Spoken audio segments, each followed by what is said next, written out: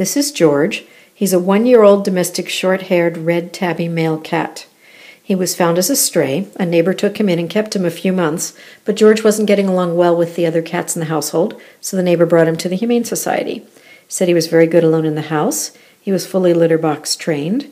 He was good in the car.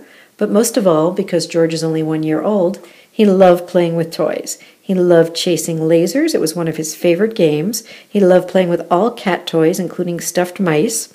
If you want to come meet George, please come to the Humane Society of Southern Arizona.